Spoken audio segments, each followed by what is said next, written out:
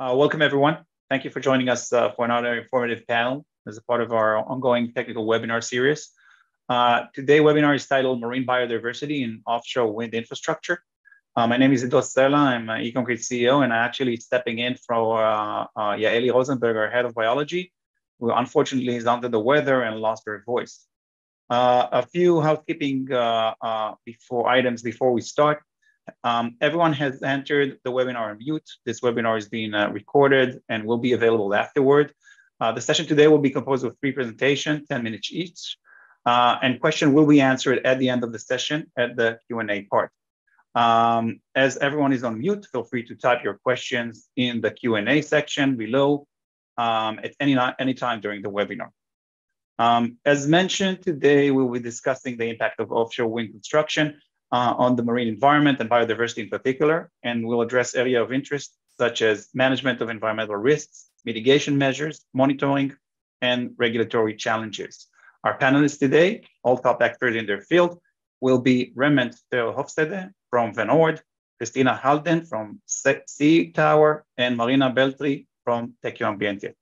Uh, and I think with this, uh, without further ado, we will start with our first speaker, Remment Ter Hofstede, Remment is a marine biologist specializing in the effect of climate change and the human use of coastal marine ecosystem. He joined Van Oord in uh, 2014, where he brings science into practice by applying innovative nature-based solution for in the in infrastructural development. Thank you, Remment, for joining us today, and I will turn it over to you. Yeah, thank you, Ido. I presume you can share see my screen now. Not yet. Not. Okay. And now? Perfect. Okay. Go ahead. Yeah, thank you. Thank you for the invitation to uh, be a speaker in, in your webinar. Uh, you asked me to uh, talk a little bit about changes uh, in the uh, offshore environment, uh, mainly due to the wind energy development. And I will address that and also how a contractor for which I'm working for is dealing with those changes. a few words about my company here. Uh, I work at Van Oord, uh, an international marine contractor with uh, head offices in the Netherlands and uh, satellite offices all over the world. We are active in dredging and reclamation, the construction of ports and waterways. Uh, we make infrastructure for the oil and gas industry. And of course, uh, we build a lot of wind farms all over the world.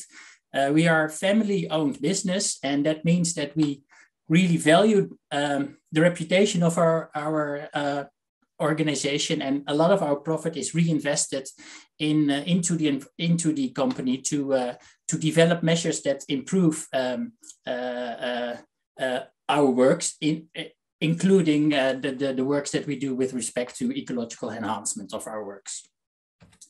Um, what what we have been facing over the past decades is is that wherever we wherever we create an environmental impact we always focused on limiting the negative effects. So trying to avoid any negative effects and also trying to reduce them.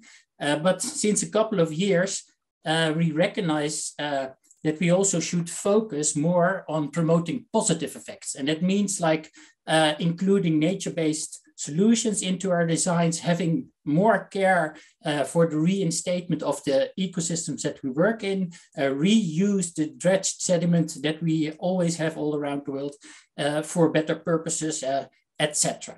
And, and, and that is also visible in um, our works with respect to the offshore wind development. Um, well, if you go to the offshore environment, in general, it's like a vast empty sea, but I'm sure all of the people in the audience know it's not uh, really the case that it's empty. Uh, there's a lot of shipping uh, traffic, uh, fisheries are going on, uh, of course, the extraction of oil and gas, uh, recreational activities, and since a couple of decades also more and more the development of offshore wind farms. So what does that mean? We see a change in the environment. And if we focus at the seabed, uh, uh I'll give you an example of the North Sea, what happened over the past 150 uh, years. Like 150 years ago, it was still um, occupied with a lot of uh, thriving benthic reefs, in particular oyster reefs. Um, then, uh, due to fisheries and the diseases, we ended up actually with a pretty sandy seabed Uh, all of the reefs were destroyed uh, near to uh, extinction. And, and uh, what remained was a relatively deserted uh, empty seabed. Um, and now we see that with the development of all the wind farms uh, in the North Sea, we see opportunities for recovering these benthic communities. And why is that? Well, uh, that is because these wind farms, they have several benefits for the recovery of uh, benthic communities. And that is A, uh, often, at least in part of the wind farms, uh, fisheries, bottom, bottom disturbing, bottom trawling fisheries are not allowed. So the, uh, the, the, the seabed remains undisturbed for the lifetime of the wind farm. And also we bring in a lot of um, uh, hard substrate, and in particular ar around the base of the foundation of the wind turbines, we uh, uh, deploy rock material to prevent the seabed from erosion around that base. And both situations, hard substrate and undisturbed seabed, allow benthic communities to recover. Um, and how, how severe is this, uh, what we do? Um, for, we have made calculations that at the end of 2020, we had already installed nearly 250 football fields of uh, rock material and uh, the areas occupied by, uh, by wind farms uh, were comparable to the size of about half a million uh, football fields. So you can imagine that the impact that, that the wind farms will have and the opportunities also that these wind farms will have is, is enormous. And especially if you think about the future, all the areas designated to become wind farms, or at least uh, appointed to, to, to, consider to become uh, uh, um, wind farms areas, it's, it's, it's, it's far, far higher. So almost 5 million uh, uh, acres of uh, 5 million football fields will be, be, be become occupied in the size rates at least of, by wind farms. Um, well, and this building of these wind farms, they both have risks and opportunities. Uh, many studies have been going on uh, about these risks and opportunities. The, the risk involve, uh, of course, the collision by the birds and uh, maybe changes in the stratification patterns with the effect on the on the entire food web uh, um, and um, uh, changes in the distribution of flatfish species, etc., etc. Many, many um, um uh, concerns about are related for the environment, uh, uh, are related to the wind farm uh, development. And there, but there are also many opportunities, and these are mostly related to the increase in biodiversity. And um, I would like to show you a bit how the response was of the, the, the, the requirements set for developing um, uh, wind farms uh, in relation to the knowledge gained by all the risks and opportunities aligned with the development of wind farms. So it all started in the Netherlands, at least in uh, 2007. A few wind farms were built over time, and they mainly addressed a low level of uh, nature um, aspects. And what was this low level of nature aspect? It was mainly related to protection uh, of um, uh, of the environment. And we knew already in those days that the sound produced, for example, by piling the wind, wind turn, uh, turbine foundations into the ground is really loud and that causes uh, stress to the animals living in the sea. Uh, they change uh, migration patterns, but if it's too loud, even they could get physically harmed and even uh, they can cause death. So many of the uh, measures taken uh, along with wind farm development related to the protection of these animals. So trying to avoid um, the spread of this noise. So the contractors responded by developing all this type of measures. Uh, one was, for example, acoustic deterrent devices that could safely uh, deter animals by creating a safe sound uh, uh at the source of the, of, of the work. Um, to, to, to, for the animals to leave, they, they got scared by the sound uh, temporarily and, uh, and they were not harmed. But then once the animals had left the area where the construction would take place, they wouldn't, wouldn't be uh, harmed anymore. So, and once the, the, the, the, construction that finished, the animals could return to the area again. So that's a, a measure to deter fauna, so you can't um, affect them anymore in the area. And another measure was, of course, trying to avoid the spread of the sound produced by this uh, piling. So several noise mitigation measures were developed, so-called sleeves that entrap kind of the sound produced by the piling of the foundations, but also air bubble curtains and the same, the same effect. You, you con constrain the loud noise uh, within the work area and it won't distribute throughout the environment. Well, next step uh, uh, in, in, in nature involvement of, of, of wind farm development uh, started actually uh, about five years ago with the construction of the uh, wind farms Borssele, uh, 1, 2, 3, and 4, and 5, and also wind farms Hollandse Kust uh, Zuid and Noord, it was another level. And what was that level? It was that uh, any wind farm developer had to undertake demonstrable efforts to contribute to the strengthening of a healthy sea. Uh, so uh, the developers came up with the solutions. The first wind farm who would had to incorporate these type of measures in their development was the Borssele 1 and 2 wind farm. Uh, and what they did, they, they, they installed uh, concrete pipes, actually, type, type of sewage pipes, from which animal life could profit. They could shelter in it, they could settle upon it, etc. And it was mainly focused on uh, stimulating and promoting uh, codlike species. So the response of uh, the contractors on this new type of requirement was to further development, to further develop the, the nature enhancing measures that could be taken to promote beneficial, uh, to promote marine life in the wind farms.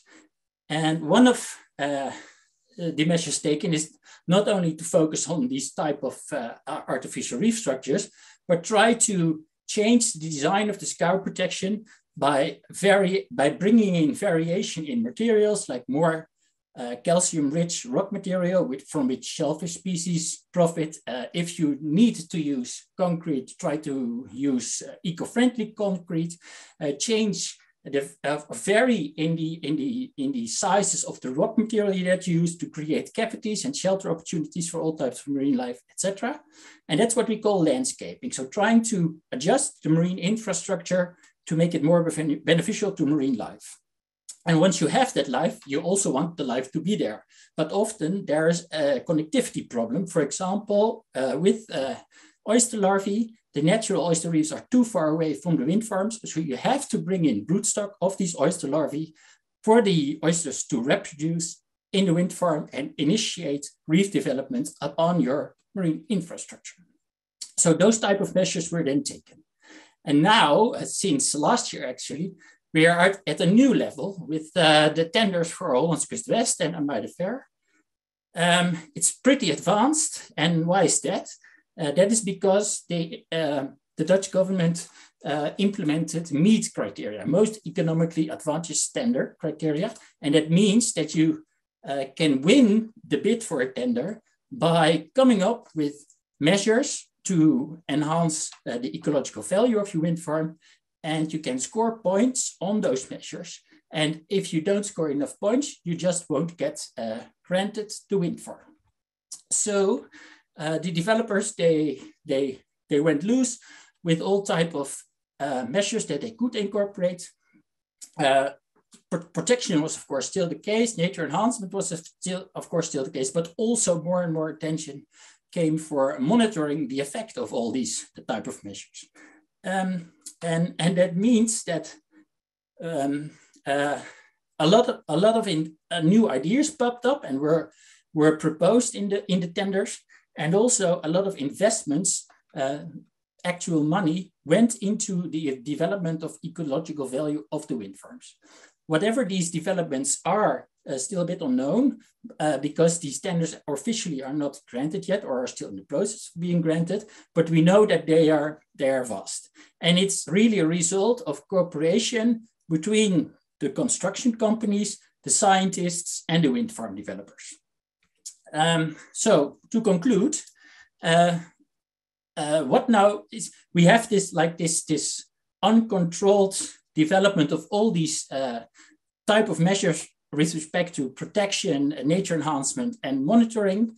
And it's kind of it's going wild actually. There are so many options and so, so much is improved that our government is a bit lost. So what to choose, when and where and how much and what is needed. So what we should aim for from now on in, in the future is to come up with objectives for the seascape. Uh, so if you have clear objectives, you can focus your measures uh, uh, to reach those type of objectives. For example, if you want cod somewhere, you focus your measures on cod. If you want to protect uh, marine life, you focus your measures on protecting marine, marine life. And um, it's, it's, it sounds easier as it is because before you can uh, uh, set these objectives, you should really know uh, uh, the area in which you are working and also the opportunities that arise from your construction works in, in the areas that you work.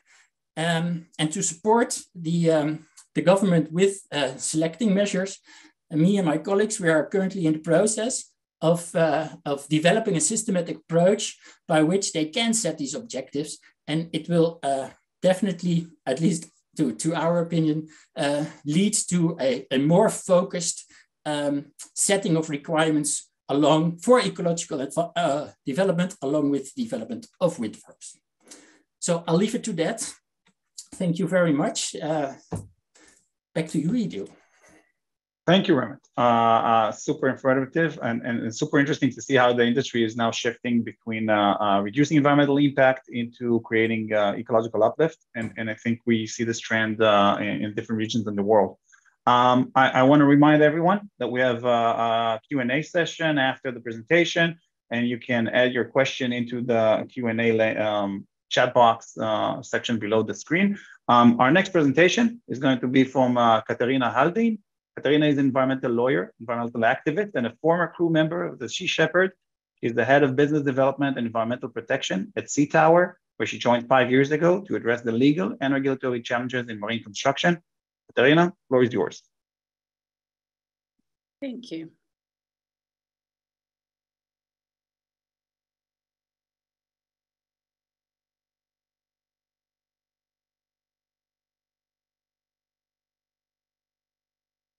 So do you see my screen?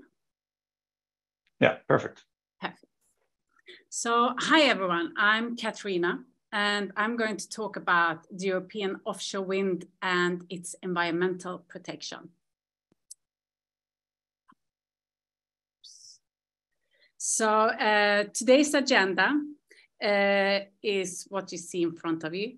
Uh, I'm go not going to go into details in any of these um, topics. Instead, you're going to get an uh, overview of the topics.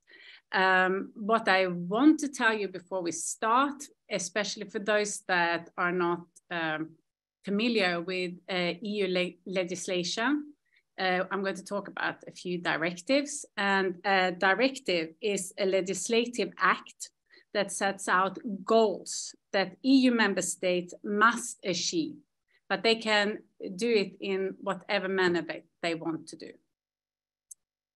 So the starting point of this presentation is the rapid expansion of European offshore wind power, which is set to increase even more in the coming years. This follows changes and thus the increased renewable energy targets that we see in directives and plans uh, from the European Commission and also from the Parliament. And that is in order to meet EU's goals of reaching climate neutrality by 2050, and also more recent goal to be independent of Russian energy uh, imports policies and legislations uh, must support offshore wind expansion while also protecting marine ecosystem and biodiversity. Repowering, the Repowering EU plan from last year aims to deal with this, especially focusing on making permitting processes faster and easier for renewable energy infrastructure such as offshore wind projects. I also want to briefly mention uh, maritime spatial planning as an important aspect in supporting both offshore wind expansion and environmental protection. This is a tool that manages the use of the sea and the ocean from human activity, such as fishery, shipping, military, and obviously offshore wind. And all of these activities need to be done together in an efficient, safe, and sustainable way in order to guarantee the health of our oceans. So before moving on further, it's super important to mention the precautionary principle. This principle is the foundation of European environmental law. And the two uh, environmental requirements that we are going to look further at um, are both based on this principle. The precautionary principle should be the guiding policy when developing all offshore wind projects in Europe. The application of the principle means that where there is uncertainty about the risk of environmental harm, the precautionary principle requires protective measures to be taken. And it's set out in Article 191, Section 2 of the Treaty on the Function of the EU with two other important environmental principles. And they are the principle of preventive action and the polluter pay principle. So with this in mind, let's look a little bit closer at environmental aspect of permitting processes establishing offshore wind farms. But first, a few points. EU member states have different planning and permitting processes, but within these processes, measures are already implemented to ensure that member states follow their obligation to achieve and maintain good environment status for European seas. Furthermore, different laws applies depending on what maritime zone an offshore wind farm is located. So the first uh, of the two environmental requirements that all member states must consider during the permitting process is Natura 2000 area. These uh, Natura 2000 areas are a network in the EU with great na natural value. And they have to be specially uh, a special consideration uh, in regards to this area during the site investigation phase of an offshore wind farm. And this is because these, area are, uh, these areas are established to protect certain species and their habitats that are uh, defined in the EU Habitat and Bird Directives. Uh, and because of the great natural value, a special assessment assessing these species and their habitats must be done if an offshore wind power project is located within or nearby a Natura 2000 sites. The second environmental requirement all member states must do during the permitting process is also environmental impact assessment. And this is an instrument that sh shall be undertaken for all proposed activities likely to have a significant impact on the environment. The outcome of the assessment uh, are used to guide decision making. There is no requirement that the out outcome must be adhered to it only requires decision to be influenced by the information. A further function of uh, the environmental impact assessment is to give transparency. It gives the public and those potentially affected by the project an opportunity to participate in the decision-making process through dialogue and comments. And I want you to note that EU has ratified the Espoo Convention, and this means that all offshore wind projects in, uh, within the EU that are close to neighboring states, uh, these neighboring states must be notified and consulted in regards to expected significant adverse environmental impact across uh, boundaries. So here are a few examples of possible, uh, possible environmental impacts that might be included in an environmental impact assessment. We are only going to look at one of these impacts, and that is an impact of ma major environmental concern, and that is the acoustic impact, which we simply call noise pollution. So noise pollution uh, during the construction phase uh, stems from um, hammering or pile driving in normal steel pipes. Uh, most commonly, the, there are monopiles. Uh, and we drive them into the seabed, which cre create an intense cumulative noise and vibration that may pose severe threat to marine species. Uh, these impacts might be either direct or indirect. The direct impacts uh, can be, for example, temporary or permanent injuries such as hearing loss. And the direct impacts are impacts that create negative behavioral changes among species. For example, they stop feeding or they stop breathing.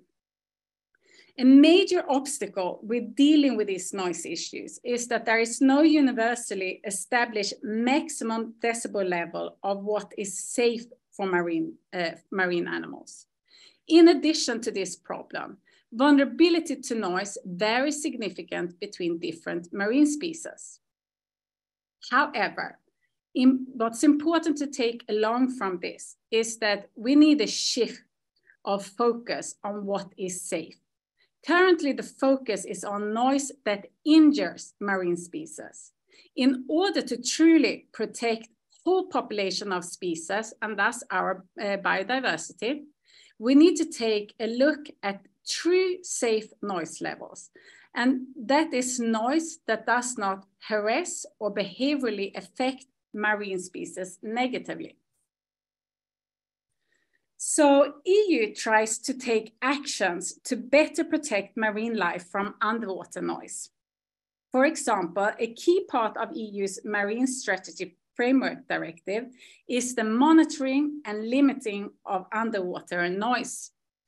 Member states are required to establish threshold values, ensuring that anthropogenic, that will say human-made noise, do not exceed levels affecting populations of marine animals. National thresholds for underwater noise, however, vary from member state to member state. Some member states don't even have legal thresholds. But one of the most, I think, famous thresholds is the one from Germany. It's the ones that has existed for a very long time. And it's the German sound protection concept. And this is a concept to protect the harbor porpoises from sound exposure during construction in the German North Sea. And it's a dual noise emission threshold of 160 decibel sound uh, exposure level and 190 decibel uh, uh, peak um, uh, peak sound pressure level at a distance of 750 meter from the piling source. So in order uh, to, um, to meet these noise thresholds and in order to limit uh, the, the noise uh, pollution, we have to look at the foundations that are used in the offshore wind industry. And normally what we, uh, what we divide these foundation is between bottom fixed foundation and floating foundation. I would like to divide them differently. I would like to divide them in piled noise, noisy or loud foundation and quiet foundations. And if we look at the piled foundation, monopiles and jackets, those that are more noisy during construction, uh, we have a, a technical noise abatement system that can reduce this noise pollution, which otherwise could rise over 200 decibels. And individually, these various techniques may reduce the sound exposure level around 10 to 20 decibel, but in combination with each other, they can re uh, a reduction can be more than 20 decibel.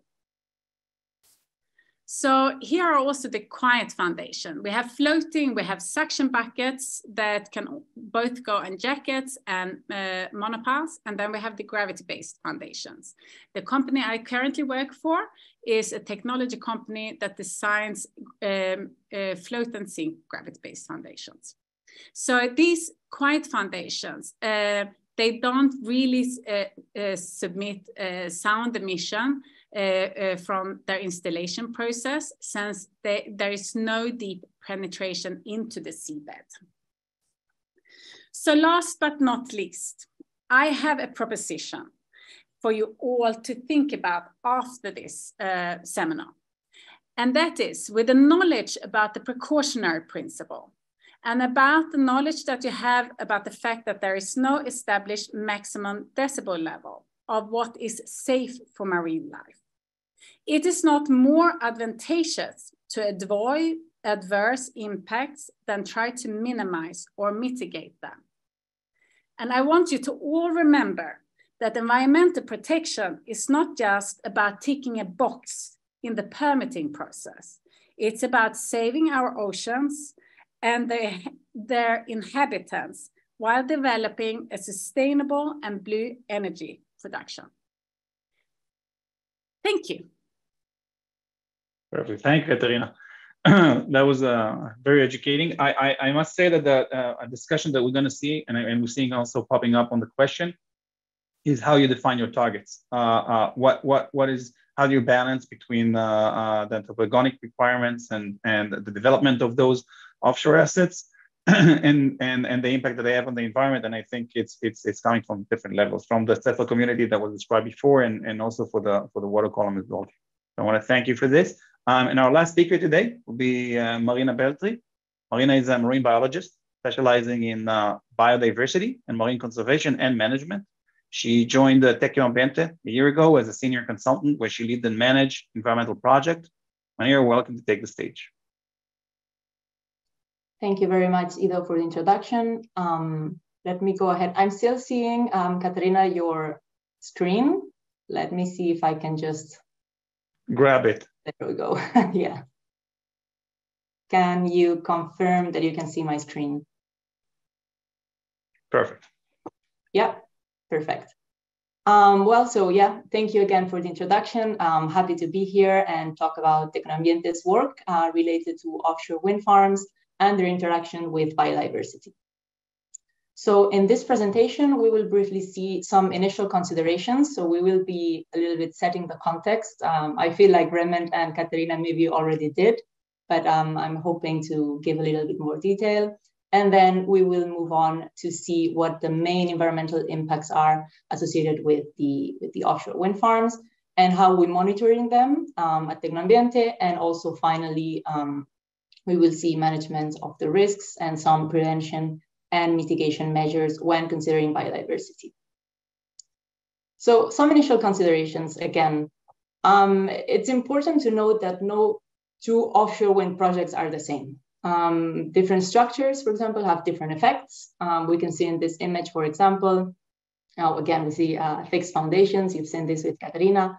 Um, in the case of fixed foundations, we're looking at um, the most common type of offshore wind farms um, at the moment, and those are typically located in shallow waters. They're um, near the coast, and they use steel or concrete foundations that are anchored to the seabed.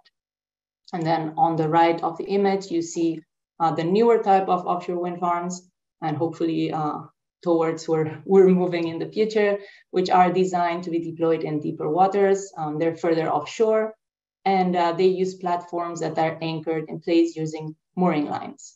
And again, each of this uh, type, these platform types has different environmental impacts.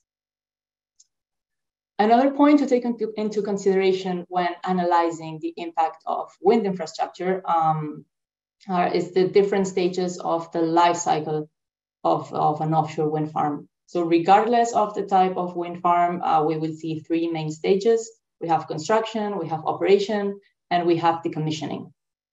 And within, sorry, and within each of these stages, uh, there will be actions that will cause a disruption in the environment, uh, which will result in environmental impacts that um, we will be seeing shortly. Uh, for example, construction phase, uh, typically requires large number of vessels, uh, including supply ships, uh, barges, installation vessels. Um, also, prior to the installation of the turbines, the seabed must be prepared to ensure a stable foundation, and this can involve um, dredging, removal of sediments. Um, there's also cable laying, which can require trenching. Um, during operation phase, we have actions related to the normal functioning of the, of the wind farm, but also activities to maintain and service these farms. And finally, at the end of their operational life, which is uh, nowadays uh, more than 20 years, uh, offshore wind farms need to be decommissioned. And during decommissioning, we will see many actions that are similar to those during the construction phase. So the question is, how do all these actions uh, translate into environmental impacts? So we move on to see uh, main environmental impacts associated with um, the offshore wind farms, and also we'll see their monitoring.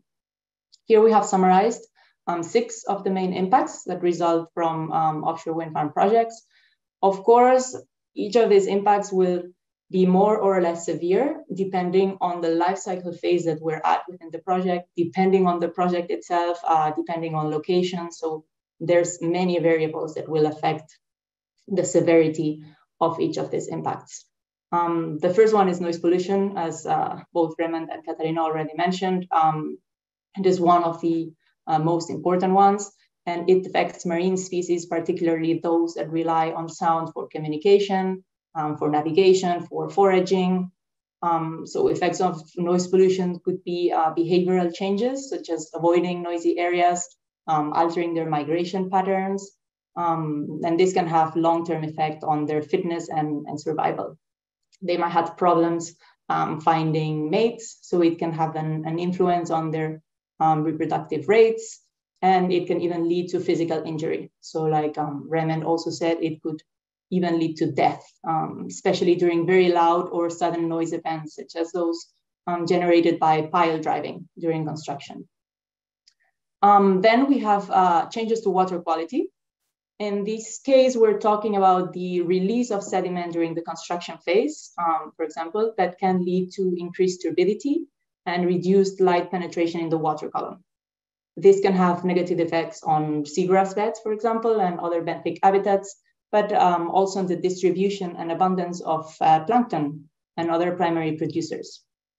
Um, another factor to take into account here um, in water quality is the potential release of pollutants such as oils, lubricants, and other chemicals that might leach into, into the water, um, uh, the same way that maybe uh, anti-fouling or anti-corrosive paints um, could do, and that could have um, direct toxic effects on marine organisms. Um, thirdly, we have the electromagnetic field effects that are derived from power cables. Um, these uh, EMFs are generated by the electrical currents that flow through the power cables. And uh, they can disrupt the behavior and physiology of a certain species. For example, some studies have found that EMF can interfere with the ability of fish to navigate, um, to find food, and to communicate with each other. Um, but uh, it is also important to note that the strength and extent of the EMF field uh, decreases rapidly as distance from the cable increases. So that means that the impact on marine life is typically uh, just limited to a very small area around the cables.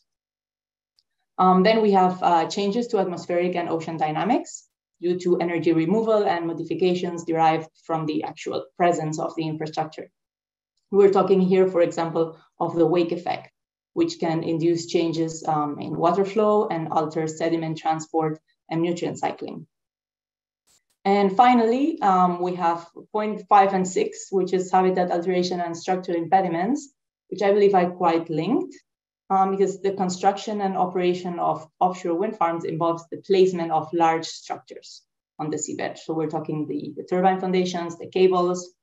So this can, um, this means a, a direct physical disturbance and displacement of benthic organisms, the loss uh, or modification of important habitats such as rocky reefs, um, sandbanks, and seagrass.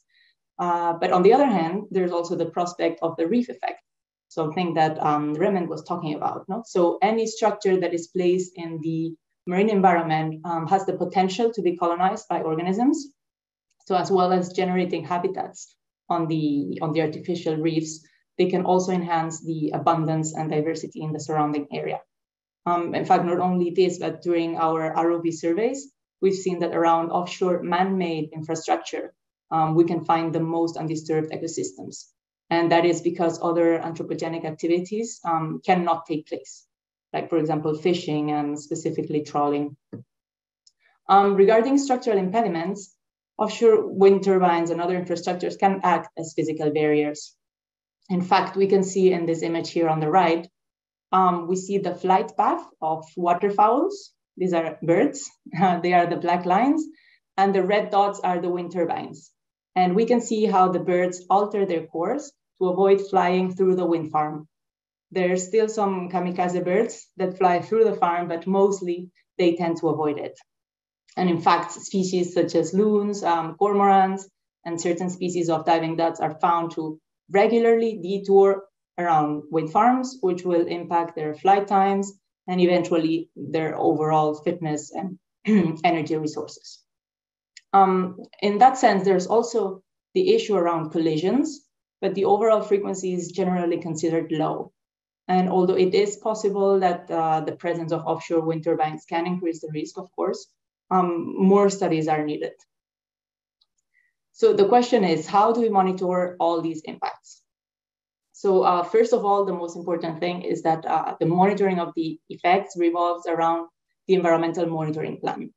Um, this plan is typically developed as part of the environmental impact assessment or any similar process, and it is intended to ensure that any potential adverse effects of the project are identified and addressed in a timely manner. Uh, the EMP typically includes a description of the environmental factors that will be monitored, um, like water quality, noise levels, um, wildlife populations. But it also includes a description of the methods, so the monitoring methods and tools that will be used, as well as the frequency and duration of the monitoring activities. Um, some examples here of what how we can um, conduct this monitoring for different environmental variables. Um, for noise monitoring, so for noise pollution monitoring, um, we, we place hydrophones. So those are basically underwater microphones um, in the water. We place them near the wind farm to ensure the sound levels and frequencies generated by the turbines, vessel traffic, and, and any other sources of noise are recorded. We can also use passive acoustic monitoring. Um, this is another method, and it involves using underwater autonomous recorders that can be left in place for an extended period of time. And this approach can help identify patterns and trends in noise levels. I'm just going to quickly skip over this slide um, to show you an example of some noise monitoring results. So in here, we can see um, this model on the left, how noise level decreases with distance to the wind turbines and how we can find the highest level of noise right at the turbine. So um, it is very localized. And then uh, the graphs on the right, uh, we can see the different sound level pressures depending on distance, wind speed, or turbine size. And again, um, this graph uh, helps us see um, how the design of the wind turbine. So in this case, they're all uh, fixed foundation. They're concrete, monopile, jacket, and tripod. Um, so we can see how the design can affect the sound pressure level as well. So back to the, to the monitoring slide. Um, other monitoring techniques include, for example, the census of pelagic fauna and seabirds, for example, using binoculars from land um, on board, also through aerial surveys, uh, GPS tagging of birds. Um, very important to have an MMO on board as well. Seabed visual surveys, um, sorry, seabed, seabed visual surveys, uh, which can be done uh, by divers or ROV, depending on water depth, location, and also safety considerations. We have water quality measurements, um, in this case, we can see our team using a rosette system that is made of several Niskin bottles and uh, that is made to collect water at different predefined depths. And of course, there's many other techniques and methods to collect data, um, all related and all tailor-made to the environmental variable of interest. So now we've seen uh, some of the main environmental impacts, and now we will see some of the management strategies um, to ensure a minimization and avoidance, if possible, of these impacts during the whole life cycle of the wind farm. So the first step, or even the step zero in all projects, is the design of the project, of course. And it is crucial that within the design project, we take into consideration all environmental aspects related to the project. And that is why we perform complete environmental studies and surveys, which will eventually feed into the EMP modeling must take place not only at engineering level, but also um, of environmental variables such as uh, EMFs, uh, noise, hydrodynamics, And uh, finally, it is crucial that site selection takes into account a full maritime spatial planning study. Here on the right, we can see an example of all the factors that go into consideration when doing a site selection process. Um, for instance, uh, we have wind resource, but also protected areas, um, Natura 2000 sites, sensitive habitats, migration patterns, and other uses of the marine space. And here are some uh, proposed prevention and mitigation measures that can be taken um, to ensure that the habitats, uh, that the impacts are minimized during all phases of the life cycle. So to name a few, we have uh, use of low emissions uh, maritime means, use of maritime means that have low acoustic emission certificate, that uh, silent E, this is a notation that ensures ships um, do not exceed average to moderate underwater radiation noise levels. And we have compliance with um, MARPOL regulations, but also any other um, local or regional regulations that are in place. Um, availability of measures to combat accidental contamination, such as oil spills, monitoring of uh, the horizontal drilling and cable laying process via geomorphological surveys, um, sediment blowout containment measures at the ATP exit, and of course, continuous environmental monitoring. Um, just a few more here. We also have uh, limiting vessel speed uh, to a maximum of 10 knots. Um, some noise reduction measures that um, we've seen already in this webinar. This is a picture of um, some bubble curtains that work by uh, changing the density of the water, and that's why they break um, the sound waves. Also, other um, possible um, reduction measures would be the use of quieter uh, turbine engines as well as planning activities to avoid sensitive times and locations, which is also um, quite crucial. And then we have collision avoidance systems, um, technologies such as radar or acoustic monitoring. Um, they both can be used to detect the presence of berths and allowing for early warning and avoidance measures. Um, MM on board, we said that, and um, the use of techniques such as the jetting or the ploughing for cable laying to ensure the minimal affection on the seabed and the use of cable coatings or materials that can reduce um, the electromagnetic field emissions. Overall, um, I would say that the key is monitoring and adaptive management, and that regular monitoring of the impact of offshore wind farms can help identify potential issues and inform adaptive management strategy. It is uh, just to conclude, it's important to note that there is ongoing research into the most effective strategies for mitigating the impact of offshore wind farms and that the optimal approach may vary, again, depending on the specific project and the species uh, and the environment present in the area. And that's all from me. Thank you. Perfect. Thank you, Marina. Actually, we, are getting quite a lot of questions, which is which is really great. Um, and, and, thank you for emphasizing the importance of, of monitoring. I think I think this is a, a crucial uh, uh, part of, of everything that was described today and, and gaining the data that you can take your decision according to the to, uh, um, objective targeted uh, monitoring that will provide you the, the, the data that you want. Uh, and with this, I would like to thank all our speakers uh, for your insights and perspectives. And I'm and and I can see it triggered a lot of interest. Uh, and, and I think we can we can jump for the Q&A and, and maybe begin with a, a first question that came up for uh, Marina. Um, what are the challenges of monitoring offshore wind farms? Uh, that's a very good question. um, just the nature of, of the of the fact that the wind farms are offshore, that's already a big challenge in itself. Um, that entails a lot of logistics, mostly. Um, so access offshore wind farms are often located in remote or challenging areas, which can make it difficult and expensive to access the site and conduct uh, all the monitoring activities. And uh, weather conditions is another one because of the, again, of the offshore nature of the site. Uh, we can expect high winds, uh, high waves, and that can make it difficult not only um, to, you know, get to the place, but also to collect accurate and reliable data. So we don't want the data to be influenced by, you know, a certain um, certain weather event. Um, and then we have uh, the whole data analysis, which will be, uh, you know, in regards to collecting large amounts of data. Um, that can be complex. It may require uh, specialized expertise uh, resources. Uh, we need to interpret the data effectively. And we need to do it for um, in the long term. So uh, we're looking at projects that maybe construction can take from months to years. Operational phases span over decades. And um, there's also the decommissioning. So it is very important that we always um, we, we do careful planning, uh, management, as well as you know communication and collaboration between um, stakeholders at all times. Perfect. I think before you we, we step to we, we jump to another question and another question that I think is is you can answer very and it's coming from your presentation was how do you monitor the local ecological effect of electromagnetic fields separately from habitat alterations?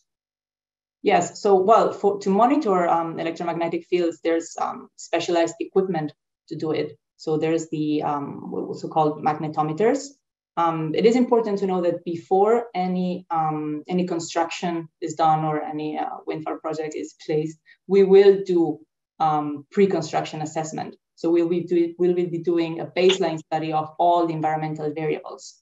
And then once construction starts, we will have that data to compare it with. So we will go, for example, in the case of um, power cables, we will go with the uh, magnetometer and we will measure the fields around the cables and compare it with the values that we had prior to the construction. Um, that's also a BACI approach. So um, before and after comparison and also being able to have a control site is also very important. Um, in terms of habitat alteration, I think that was the other part um, of the question. Um, that's a little bit different. So um, we see that EMFs are very localized within the power cable. So they might span a few meters, but not more. Um, habitats, uh, they, they are usually larger, and we see these um, via all the surveys that we can do with divers and with ROVs. And, and with uh, uh, and, and a question from me is is uh, electromagnetic fields are are there's a threshold that you're you're you're you're working according to. So how do you decide that it's it's too much or exceeding something? that's all. That's also a very good question, and there's also um, a lack of uh, maybe standardization across uh, across countries, and even there's uh, some member states that have none. Um, it is the case here in Spain. So, um, in general, electromagnetic fields um, they're not that high. I mean, we're talking very low uh, emissions. It's not one of the most, uh, I'd say, the the most important effects. They're they're really very low. Um, we still don't have a threshold that we should, you know, keep an eye out for, but still, um, we, we, we would be we wouldn't be seeing that much of an increase. No. Perfect. Thank you. Um, and with this, I will jump to Remment because I think it's it's it's it's it's heading your way. And and and it was a describe the you described the objectives that you're working on on on uh, nature enhancement. Um, can you describe what are the objectives that you need, or give a little bit on what are the objectives you need to address in order to get the uh, ocean wind farms uh, um, nature enhancement to be successful? Yeah, well, mainly I think it's that you you you really uh, set the requirements that are most suitable for a certain area within your seascape So it's pointless to to to to develop a, a, a reefs in a very dynamic uh, area, for example. Um, so so it, it, it should it should match, and also it's very important that there's uh, joint effort being put in it. So to, to avoid any bias towards developers or towards ecologists or towards policy, all, all disciplines, they should join forces in, in, in setting objectives to, to, to determine whether whatever you develop is feasible. And, and mainly also, most importantly, might be even um, to, to always pursue upscaling. So if you develop a measure, keep always in mind or that, that, that whatever you develop and, and invent should be scalable. So it, you could, for example, install a golden uh, artificial reef, which is maybe very suitable for oyster larvae settlement, but of course that's not scalable. And what we have already noticed, well, shellfish bivalves, they prefer shell material, uh, but shell material, the supply of shell material is not uh, unlimited. So you can, you can never uh, create an area large enough to, to, to host all those uh, uh, bivalve larvae with shell material. So you, seek, you need to seek for other solutions. Perfect, thank you. And, and, uh, and maybe jumping to another question on that, on, on that topic, there was a question asking about uh, you described the um, oyster larvae uh, introduction. Uh, are those are native or non-native species? Yeah, they're native. They used to be there in the history. So uh, we're aiming for the same species, definitely. Perfect. Uh, thank you. Katarina, next question is it came up to you. Do you think the uh, current abatement system can sufficiently protect marine life from noise emission from uh, pile driving? well, I think it's difficult to say yes on that one. Um, and the reason why I say that is I think it's easier to say that uh, uh, noise mitigation methods uh, can go down to levels where it stops direct injury. I think that's, that's most probably more possible. I think where the issue comes is when we are talking about um, behavioral changes that are negative. I saw some question about the North Atlantic right whale um, over in the US. We are talking about so many studies that are showing now that they are stopped calling, they are stopped uh, ceasing um, to feed around noise levels uh, that are around 140 decibel. And I think that is an issue with noise abatement methods that we really don't know this level when, uh, when the behavior starts to, uh, when it becomes a negative behavior.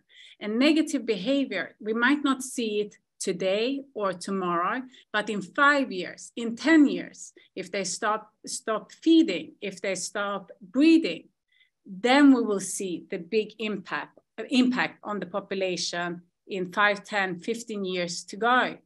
Um, uh, when it comes to um, uh, these direct injuries, we see it immediately and it comes big headlines and, you know, people get engaged. But these gradual changes, which you know make it more difficult and more difficult and more difficult they can sometimes go unnoticed so therefore my answer to that i'm very very unsure about that i'm very unsure about that.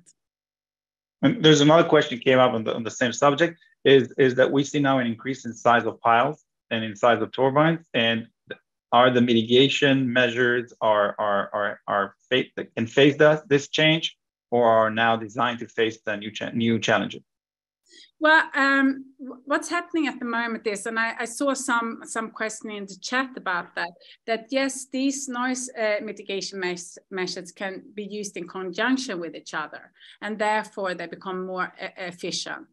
But the question is, uh, and this is a question for everyone involved in the offshore wind in wind industry to actually ask ourselves that is part of this: Are they sufficient? We don't know that's the answer. We do not know. And then the question is, are we going to gamble? Will we gamble? Are we gamble? Yeah. Uh, uh, th- thank you. Thank you for this. Uh, there, there is a, um, um, a, qu- a, related question. I think it's an open question. It wasn't, it wasn't uh, directed to, uh, it was directed to all, all, all speakers. So, so uh, there, there was a lot of discussion about, and, and noise was mentioned in, in all of the presentation, but can you share what is your European experience has been with changes to nutrient delivery, productive and impacts on bottom of the food web, at the bottom of the food web? So, so basically, uh, the, we, we, we all deal with, I guess, um, sessile communities and noise and pelagic and, and others. But um, is there also a monitoring that is related to uh, um, large scale processes that is happening within the water column? Marina, you want to start with this? Yes, yeah, I guess I'll start. I mean, um, when we plan, you know, in environmental monitoring plans, it, it does seem like we're almost even separating each variable when we are um, monitoring it. So for example, we would be looking at plankton or we would be looking at water quality. But then let's say the beauty of it is that um, in the end, when you process the data and you put everything together, um, that's when you're looking and you're trying to make connections and you're trying to look at the bigger picture. So we're not only, you know, trying to look at each variable all on its own, but rather we're looking at a bigger picture and we're always trying to find links and, and looking at the overall ecosystem as a whole and not just, you know, a single variable at a time. Thank you. Remment, do you want to add on this? Yeah, sure. It's it's also a process in development. I think uh, in, in the early years uh, we cared a lot about the mammals being uh, harmed by the noise, etc. But uh, we are becoming more and more Uh, especially uh, aware of the potential impacts on other uh, parts of the marine ecosystem, and and and especially uh, now that the huge rollout of wind farms is ongoing, all the cumulative effects they they start being of becoming of concern. So I, I, I don't think we have the answer yet, but uh, I, I do know that like the monitoring Marina is talking about is important to validate all the models being developed to be able to calculate the impact of these uh, vast amount of wind farms going to be developed. So it's in process. Thank you. Karina, you have uh, something to add or I can jump to uh, uh, another question because I have a lot. No, you can jump. You can jump. I just Perfect. want to say that I think it's great from uh, an environmental lawyer's point of view that all of us from the different field has actually snapped up on what's happening uh, uh, on the European level, and that is the concern over noise pollution that exists in our oceans uh, today. So that that I find really really positive. Perfect, thank you. Um, there's another question that I think is can should be addressed by, by everyone, and how and the question is how do you balance the need for renewable energy with the potential ecological impact? So so how do we balance this? How do we balance the need and, and of ecology and environment from both sides? Um, I'll go first if it's fine. I think uh, just very shortly, um, just like what Katarina was saying before, um, it requires a multi-phased approach so uh, close communication and collaboration between all stakeholders, so uh, from wind farm developers, uh, environmental regulators, but also other stakeholders, um, so that they can all be included in this careful planning and management in a way that we can create all these effective mitigation measures and uh, you know ongoing monitoring, assessment um, to make sure that that the offshore wind farms eventually uh, are implemented in a most uh, sustainable and responsible way. I think I think I, I, can add on this that there's two questions that are popping all the time, and there are philosophical questions that need, that is hard to tackle. With the the first one is exactly this one: is is how do we balance the environmental impact of of renewable energy on, on a global and how we compare reduction in CO2 and all the association uh, associated impact on, on on the land with with what, what is the impact on on on the local habitat and the second one that that I that I was figure I I thought going to pop up during the discussion is is the it's this it's basically the habitat change. We're, we're dealing with area which are silty and sandy. Um, of course, they're they're usually associated with a low biodiversity, but we're changing them to hard substrate. So so uh, um, I, I, think Remment touched it in, in in his in his discussion on biodiversity that that we need to find those currencies that will allow us to, to, to evaluate performance of, of completely different habitats and, and, and, and level them. Um, biodiversity, for example, is, is, is one of them. So there's like there's, there's major question. I, I must say I'm still struggling with them. Uh, and I think a lot of the, the other people are, are struggling with, with, this as well. Uh, but it, it, it's something that it's, it's not going to be answered, in, on my opinion, uh, um, in the near future. And I jumped in. Uh, um, I'm, I'm, I'm uh, anything to add? Karina and, and Orem. No, I, I agree with everything that Marina said. I think it's spot on. And I would also like to add that uh, the best available techniques and methods, uh, by using them, uh, I think that adds uh, an extra uh, touch to what Marina said. You know, very much look into what's the best available techniques. Uh, what techniques do the less harm? Um, can, can we get this to work also from an economical uh, standpoint? Um, so that's what I would like to add to uh, yeah, and and that is how communication also plays a crucial role. So it's very open that um, you know all projects also communicate with with each other, and they're transparent, and there's um, a little bit of shared data so we can all implement all the r&d and you know newest developments and newest uh, techniques and technologies into our projects and not keep repeating the same mistakes. Mm-hmm. perfect. Anything to add?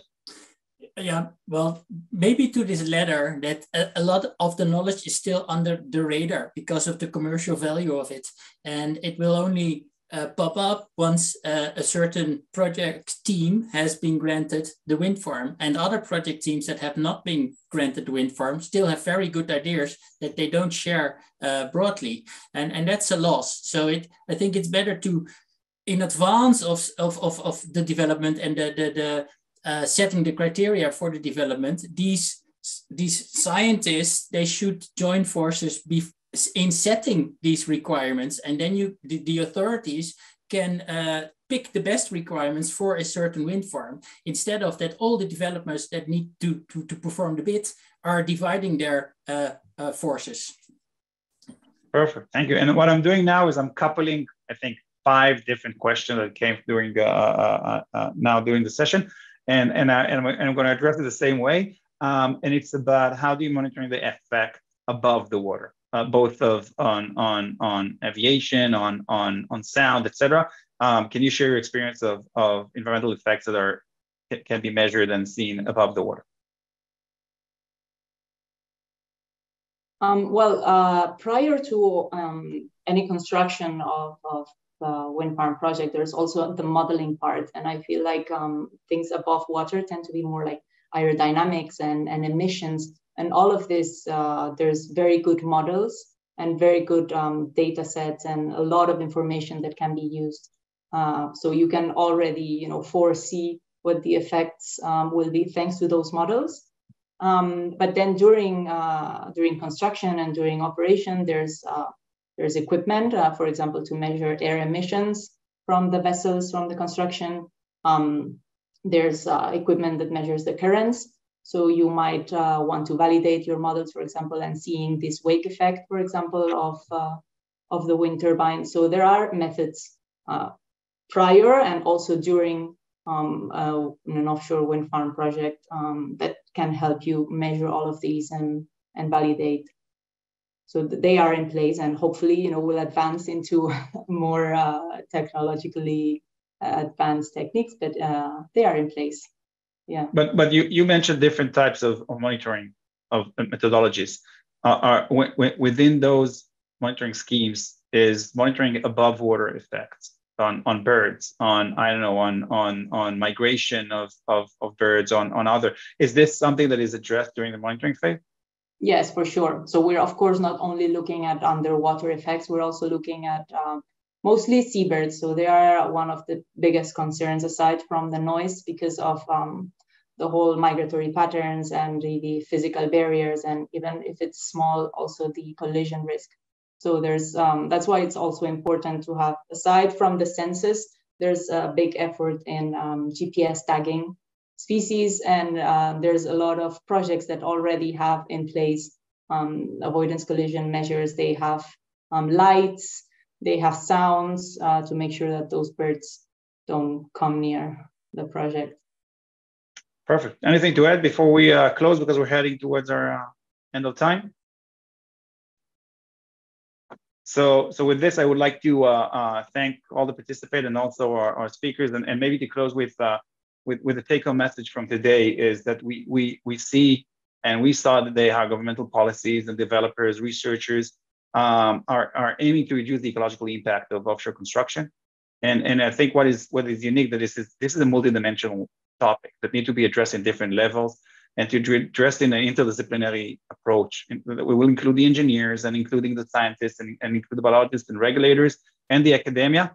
And, and, I, and I think it's a starting point that the industry is shifting, uh, and we see that uh, um, on in, in, as a term as basically a, a, line in all presentation, and and uh, and we will continue to uh, um, as a group that dealing with the impact on environmental. I think I think in different levels we're going to see um, different approaches and, and different methodologies coming into practice in the coming years just because of the booming in the industry that will that will drive the, the financial uh, uh, support and also the interest to find a new way for uh, ecological uplift and uh, reducing ecological impact, local ecological impact. And, uh, um, and, and I think the last thing is the importance of collecting data. It's, it's all about making sure that we're collecting data in a proper way and we utilize it and we share it uh, uh, uh, across disciplines. And uh, with this, I would like to uh, thank everyone. The recording of this session will be shared with all the registered participants in, in, in, this webinar, as well as we got a lot of questions. So we will try our best to answer and then and add them as we share the link uh, of, of the presentation of the session.